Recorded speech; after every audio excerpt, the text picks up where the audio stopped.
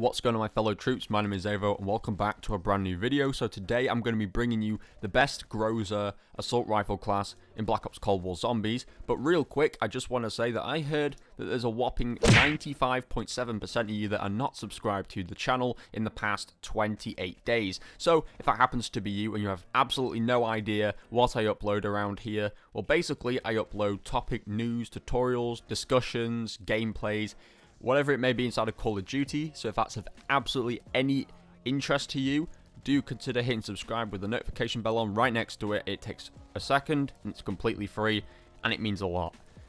Now, with that being said, let's talk about the Groza. This is one of those assault rifles that I think most of the time when I was playing Cold War during its life cycle that I didn't actually want to use because I assumed it was bad. Most people told me it was bad. It had a terrible iron sight. But until I actually tried it during the camo grind, I was pleasantly surprised. And this was the class I think I used during the camo grind, or at least towards the end of the camo grind.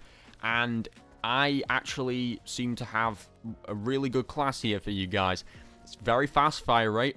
I think there's this teeny tiniest bit of recoil, but it's super controllable. It does really well at hip fire accuracy, and it works in all ranges very, very well. And it's very powerful the moment you drop into a game. You don't have to worry about even pack-a-punching it or uh, tearing it up because it's immediately already super powerful as soon as you first come into the game. And it'll only get stronger and stronger over the course of the game. So it's a very, very good assault rifle. I know a lot of people probably won't be actively searching for the Groza because it's not one of those meta weapons, but it's still very useful to use. And I think you guys should definitely check this gun out because it's super underrated. But yeah, so with that being said, hopefully the gameplay showed enough. Let's get into the class setup. Okay guys, so first thing you want to put on the class is some sort of optic. I am running the Microflex LED because as I have already mentioned, the iron sight is pretty damn garbage for this gun. As you can see, it's ridiculously tall and it's just not very precise. You can't actually see too much outside of the limits of the iron sight walls. I guess like the walls of the iron sight kind of make it harder to see what's like around the sides of them. This just makes it cleaner for you to see where the zombies actually are and you can get better headshots. Of course, you can select whichever one you prefer. And I'm running the muzzle next, which is the KGB Eliminator, which helps control the vertical recoil that I have mentioned that there is quite a bit of on this gun. Then we're run running the barrel, which is the 16.2 GRU Composite, I think I said that correctly. Helps with the damage range and the bullet velocity. These ones, I honestly don't see what the point of these are uh, in any way, shape, or form. All they're doing is taking max starting ammo off and damage range and it's just adding strafe speed, which isn't really too important. But, of course, if you feel that you want to change those up, for whatever reason, let me know in the comments why you would do that. Next, I'm running the body, which is the GRU 5mm laser sight to help with that hipfire accuracy. It's improved by 40%, which is absolutely crazy.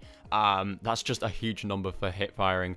And now we're running the underbarrel, which is the Bruiser Grip, and it helps with a bunch of movement speed. Now, I know it does look pretty ugly on this gun, considering I'm using Dark Ether, and both this and the magazine look really gross, but if you do have a blueprint, hopefully you'll be able to change those up, you know, make them a matted black or something, uh, but yeah, sadly they do look like that by default. Then I'm running the magazine, which is the VDV 50 round fast mag. It's the fastest magazine there is, and it's also 50 rounds, which is the most ammo available on the weapon. So that's why I'm running that. But if you're really bothered about how the gun looks with this on, and you want to switch it up for this one at the expense of 6 ADS speed being added on, then you can do that. That's actually probably a good choice. Um, it's just that I personally wanted to have all the other uh, improvements like max starting ammo. We're running the handle, which is the GRU Elastic Grip. It helps reduce the ADS speed by 30%, um, which is really useful. It makes it much quicker. And uh, yeah, so that's why I'm running that one. And finally, we're running the stock, which is the CQB pad for sprint to fire time by 30%. So there you go. And yes, I know there's going to be comments asking me how the fuck have you got that many attachments on your gun? And I get this every single video. It's actually kind of making me happy to say that soon I'm going to finish covering all the weapons in Cold War Zombies, so I don't have to keep saying this every damn time I record one of these videos.